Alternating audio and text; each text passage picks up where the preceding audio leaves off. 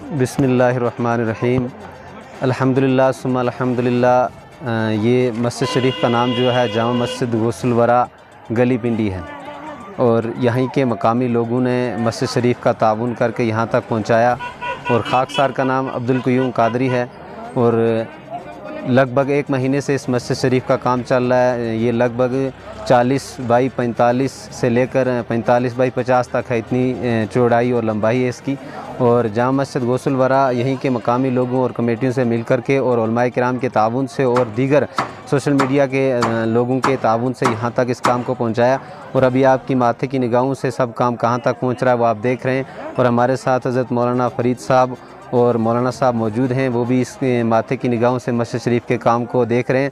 और हम दुआ करते हैं कि अल्लाह तबारक व ताली जाम मस्जिद गौसल वरा गली पिंडी के इन मुंतज़मीन और जिन लोगों ने भी इसमें हिस्सा लिया और जो जो ले रहे हैं सबको अल्लाह तबारक व ताली इसका अजर अजीम अता और एक के इतने दूर दराज इलाके के अंदर और एक बहुत जो हमारे बिछड़े हुए तबके के लोग होते हैं उन लोगों में रहकर मौलाना अब्दुल क्यूम साहब कादरी बड़े अच्छे तरीके से मस्जिद शरीफ को तामीर करवा रहे हैं और माशाल्लाह इतने एक गाँव के अंदर और एक फार फलंग एरिया के अंदर इतनी बड़ी मस्जिद को तामीर करना और ये लोगों के लिए बहुत बड़ी मुबारकबादी मुबारकबादी के लायक लायक हैं ये लोग जिन्होंने इतनी मस्जिद को खूबसूरती के साथ ये तामीर कर रहे हैं और जितने भी सुनने वाले हैं।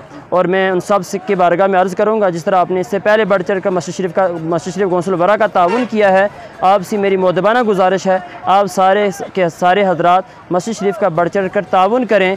और मैं तमाम अपने सुनने वाले अहबाब को ये दावत देता हूँ, मौलाना अब्दुल कयूम साहब किबला की तरफ़ से, कि कल वो इस लंडर शरीफ में तशरीफ़ लाएँ और मस्जिद शरीफ के जो यहाँ की इंतज़ामिया है, उनके साथ हाथ में हाथ बढ़ाकर मस्जिद शरीफ का ताउन करें, ताकि इसका लेंटर जल्दी से जल्दी मुकम्मल हो जाए। और मैं दुआ करता हूँ, अल्लाह ताला की बारगाह में अल्लाह की बारगाह में कि अल्लाह इन मस्जिद शरीफ के ताउन करने वालों, करने वाले जिन्होंने माली ताउन किया हो या अपने जानी ताउन किया हो, सबको अपनी बारगाह में कबूल फरमाए।